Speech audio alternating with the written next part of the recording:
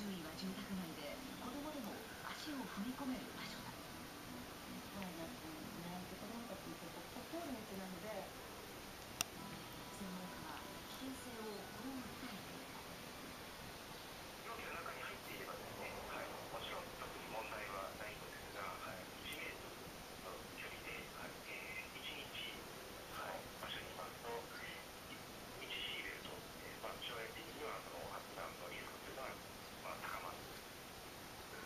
盗まれたエリジウムは二重の容器に入っていた。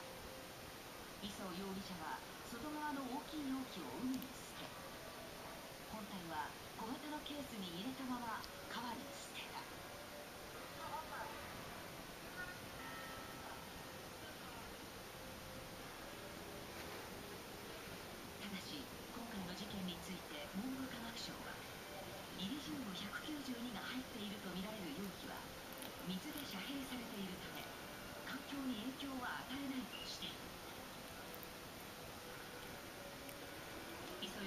中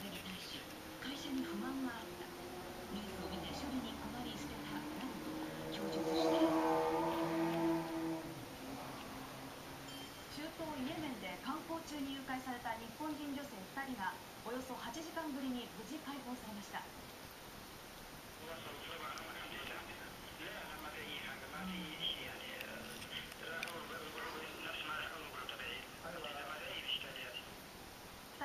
警察の事情聴取に対し犯行グループからは丁重な扱いを受け食事も出してもらったと話しているということです。